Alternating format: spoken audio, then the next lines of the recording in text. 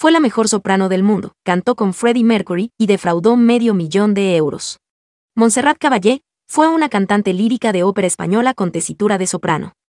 Considerada una de las más grandes sopranos del siglo XX, fue admirada especialmente por su técnica vocal y por sus interpretaciones del repertorio belcantista.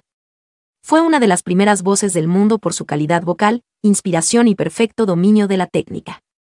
En 1955 pisó por primera vez un escenario cantando el papel titular de la Serve Padrona, de Giovanni Battiste Pergolesi, en el Teatro Fortuny de Reus, que repitió diez días más tarde en el Teatro Principal de Valencia. Ingresó a la compañía del Teatro Municipal de Basilea en 1956, donde hizo su debut operístico fuera de España.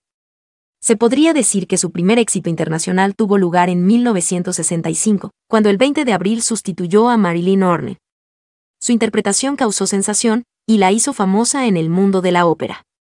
Entre 1986 y 1988, Caballé interpretó el álbum Barcelona junto al vocalista de Queen, Freddie Mercury, con quien forjó una gran amistad. Su tema principal, Barcelona, fue elegido por el Comité Olímpico Español como himno oficial de los Juegos Olímpicos de Barcelona, en 1992. Montserrat Caballé llegó a interpretar más de 80 personajes operísticos, desde la ópera barroca hasta Giuseppe Verdi, Richard Wagner, Giacomo Puccini y Richard Strauss.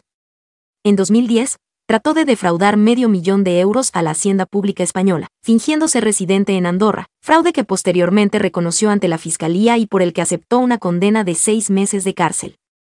Falleció el sábado, 6 de octubre de 2018, en el Hospital de la Santa Cruz y San Pablo, Barcelona, debido a problemas en la vesícula biliar que se habían agudizado en los últimos años. El 4 de diciembre de 2019 se constituyó la Fundación Montserrat Caballé, una fundación privada creada por su familia para estudiar su legado.